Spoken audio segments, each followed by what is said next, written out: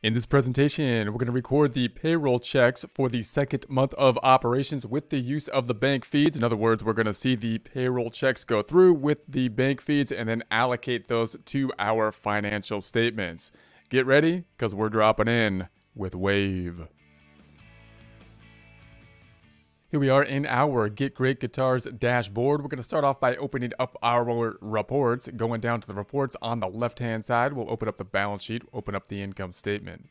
Starting with the balance sheet, we're going to open that up, go to the tab up top, right-click on that tab up top, duplicate it. Then we're going to go back to the tab to the left, do the same thing for the income statement, back to the reports down below on the left hand side, then opening up the income statement, the P&L, the profit and loss, right click on that tab up top, duplicate it. Then we'll go back to the balance sheet. We're going to be adjusting the dates on the balance sheet back to 2019. Those are the dates, or that's the year that we have been uploading data for. So then I'm going to update that. Then we're going to go down and I'm going to uh, say this show detail because I want to see like the detail. Then I'm going to go back to the prior tab and I'm going to put this back to 2019. We're going to update that report and then we're going to go down below and show the detail there as well. Then we're going to go to the first tab, back to the first tab over here, and we're going to be considering our transactions. So we're going to go into the accounting transactions, open up our transactions, and now we want to look at the two transactions that are going to be the payroll items uh, that we're going to pay for this. Now, this is another area where you got to you got to be a little careful on on how you're going to set up your system within the accounting within the accounting software. You'll recall that you could add payroll within the accounting software, but it's going to be an, an up fee, so you'd have to pay more to process the payroll within the system. If you process the payroll within the system, then you can have more complex reporting, of course, within the, the detail of payroll. Payroll adds a lot of uh, you know detail. It also has kind of an accrual component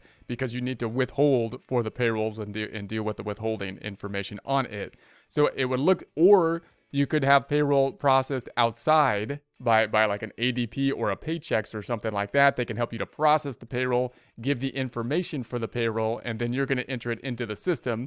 And you might even enter it into the system. The easiest way would be basically just a cash basis method to enter it into the system, possibly then asking your accountant at the end of the year to do an adjustment for uh, taxes or for um, uh, financial reporting. So that might look something like this if you had it, and that's what we'll do here. So if you had some like a, like an ADP or a Paychex doing the pay the payroll, then it would look something like this, right? This is the normal payroll. They would have to give this information to the employee. They have to give the employee every payment, not only the check, which we're imagining, for example, for Adam here would be the three thousand five thirty nine, but they all we also have to give them, th- and this would be provided by our third party payroll that we're imagining here, the amount that they earned, total gross pay, and the amount that we took out of their paycheck, which will include federal withholdings, which will be Social Security, Medicare, and the, the federal income tax that are their taxes, the employee taxes, resulting in the net check, the amount that's actually then going to come out of our checking account to pay that employee. And the same here for Erica, right? This is the amount that would come out.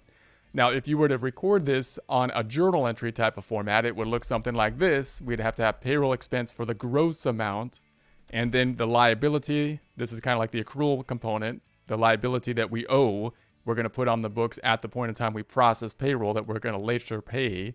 And then the paycheck that actually comes out of our, our uh, checking account. If we're looking at bank feeds, then all we're going to see is the check that comes out of our checking account. So, so that means that if we're going to record this on our system, how are we going to do this? We could use a journal entry. We could use look at that transaction, record the whole journal entry here. Or we might say, hey, look, I'm just going to stay on a cash basis. And we would just record the net check to something like payroll expense.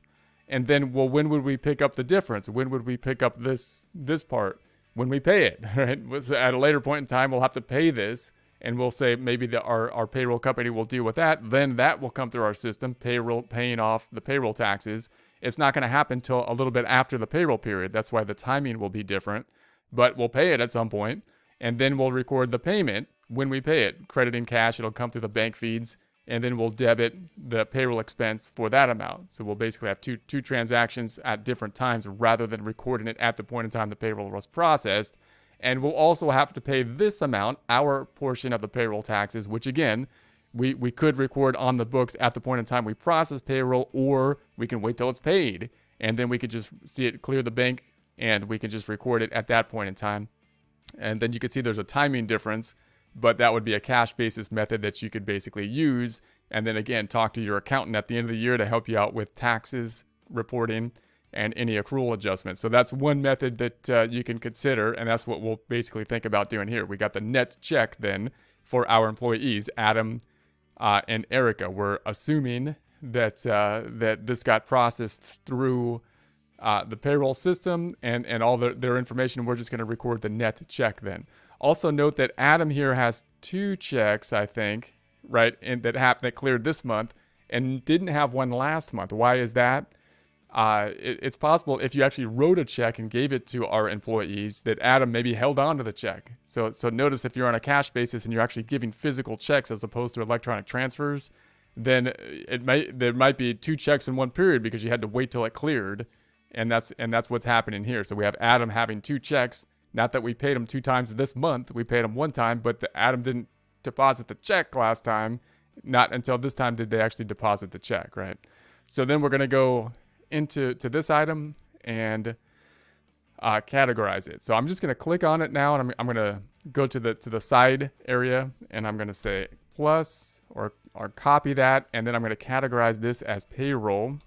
So I'm gonna say payroll, and I'm gonna say salaries and wages, and then I'm gonna save that, and then I'm gonna add the vendor. I'm going to set Adam up as a vendor. Now note it's saying here, look, you have another transaction that's with Adam. I'm not going to use that. I'm just going to do it individually because I want to add the vendor here. So I'm going to say add the vendor. This is an employee, you might say, like, well, this is an employee. Why are you adding as a vendor?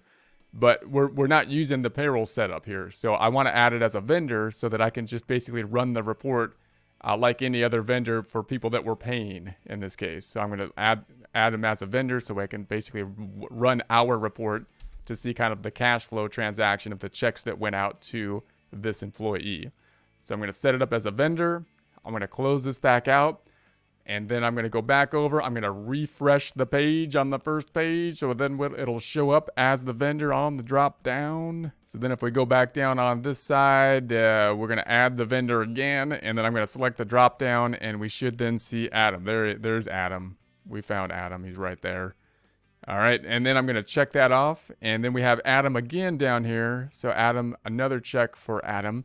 So this should be easier to do. I'm going to click on it this time so we can add the vendor as we go, which should be an easy process. So I'm going to select the drop down. This is going to be payroll. So payroll salaries, salaries and wages. And then we're going to say that uh, I'm going to add the vendor and we're just going to say that this is Adam. All right. And then I'm going to save that. Note, hopefully, a lot of times the vendor will be on the detail. So it'll be pretty easy to, to find the vendor because like we, like we did, we could just copy and paste the vendor typically. Then we're going to go to Erica. Let's go into Erica. And this is going to be new. I haven't added Erica as a vendor. She is an employee, uh, but we're going to set it up as a vendor here. So there's the 360. This is once again going to go to salaries and wages. So we'll pick that one up. I'm going to save this. Then I'm going to go to the add vendor. So I'm going to go to add vendor, select the drop down, go on down to the bottom, say plus to add the vendor. Then we're going to have the blue button in the upper right. So I'm going to select the blue button in the upper right to add the vendor here. And we'll put the Erica right up top. Erica Smith, save that down below. Then uh, once this has been saved, I'm going to close it back out.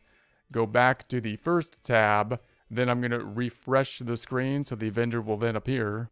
And then I'm going to go back down to the add vendor and we should see then uh, Erica here. So there's Erica and we'll go ahead and add that. So we'll save that.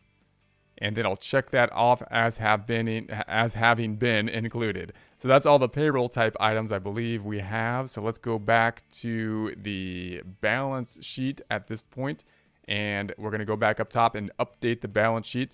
Now, there's nothing new happening here. The checking account obviously was already included, and uh, the other side is going to be on the income statement. So now let's go to the income statement.